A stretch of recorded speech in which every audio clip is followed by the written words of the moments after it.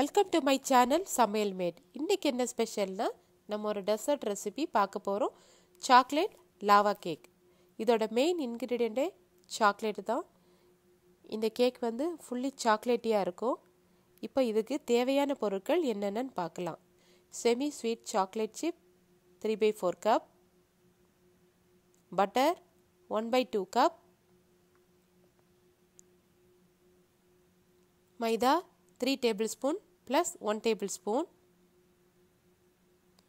sugar one by four cup vanilla essence one teaspoon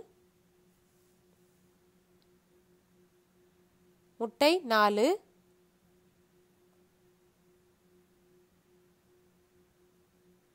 உப்பு one by four teaspoon இப்போ first வந்து நம்ம ஓவனை வந்து ஃபோர் ஃபிஃப்டி டிகிரி ஃபேரங்கிட்டில் செட் பண்ணிக்கலாம். இப்போ நீங்கள் மைக்ரோவேவ் வச்சுருந்தீங்கன்னா அதில் வந்து டூ தேர்ட்டி டிகிரி செல்சியஸ் கன்வென்ஷனில் வச்சுக்கோங்க. இப்போ இந்த நம்ம இதை டபுள் பாயிலிங் பண்ண போகிறோம் சாக்லேட் சிப்பையும் பட்டரையும் இப்போ மைக்ரோவேவ் இருந்தால் நீங்கள் அதிலே ஹீட் பண்ணிக்கலாம். கீழே ஒரு பாத்திரத்தில் தண்ணி வச்சுருக்கோம். அது வந்து நல்லா ஹீட் ஆடணும்னா மேலே ஒரு பவுல் வச்சு இந்த சாக்கோ சிப்பியும் நம்ம இந்த பட்டரையும் மெல்ட் பண்ண போகிறோம் இப்போ தான் அது லைட்டாக மெல்ட்டாக ஸ்டார்ட் ஆகிருக்கு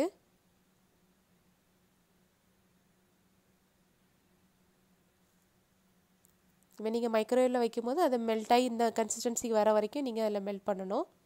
இப்போ அது சூப்பராக ரெடி ஆகிடுச்சு நெக்ஸ்ட்டு வந்து நம்ம எந்த பவுலில் நம்ம பேக் பண்ண போகிறோமோ அதில் வந்து நம்ம பட்டர் ஸ்ப்ரெட் பண்ணணும். கொஞ்சம் பார்த்து ஈவனாக ஸ்ப்ரெட் பண்ணிக்கோங்க. அப்போ தான் அந்த மோல்டு வந்து நம்ம கேக் எடுக்கும்போது ஈஸியாக இருக்கும். நெக்ஸ்ட் வந்து நம்ம அதில் மைதா ஆட் பண்ணி அதை டஸ்டிங் பண்ணணும்.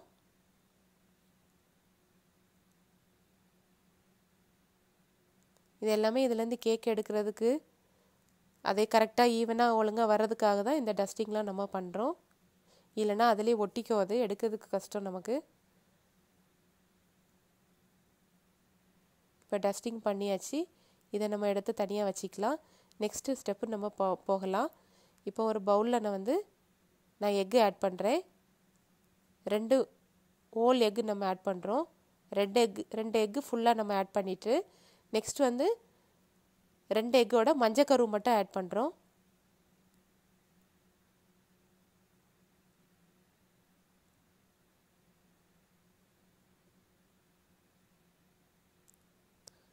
நெக்ஸ்ட் வந்து இந்த இந்த எக்கையும் சுகரையும் நம்ம நல்லா ப்ளஃபியாக பீட் பண்ண போகிறோம்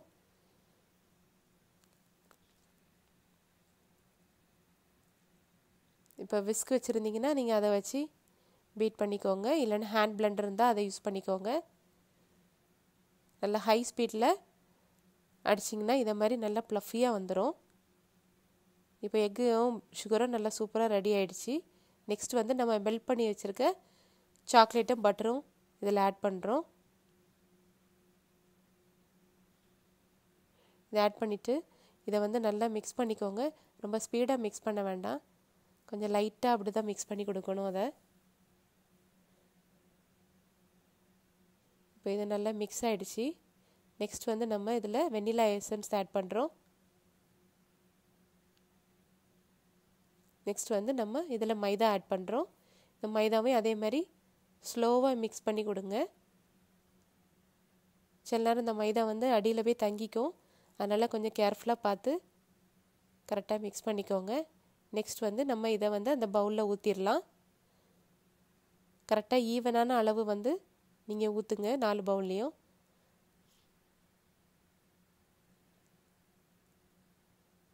இப்போ இது ரெடி பண்ணியாச்சு. இப்போ வந்து ஓவனில் வச்சிடலாம் இதை கரெக்டாக டென் டு டுவெல் மினிட்ஸ் நீங்கள் இதை பேக் பண்ணால் போதும். அப்போ தான் உள்ளே வந்து அந்த சாக்லேட் வந்து அப்படியே மெல்ட் ஆகி அழகாக வரும். இப்போ இது ரெடி ஆகிடுச்சி இப்போ வந்து ஒன் மினிட் வந்து நீங்கள் வெளியெடுத்த பிறகு வைங்க ரெஸ்டிங் டைம் ஒன் மினிட் வச்சா போதும்.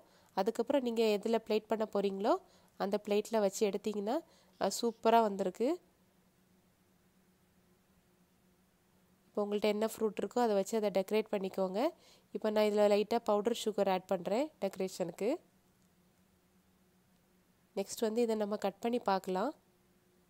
இதை லைட்டாக வார்ம் பண்ணி நீங்கள் சாப்பிட்டிங்கன்னா உள்ளே வந்து அந்த சாக்லேட் வந்து அழகாக அப்படி மெல்ட் ஆகி அப்படி வரும்.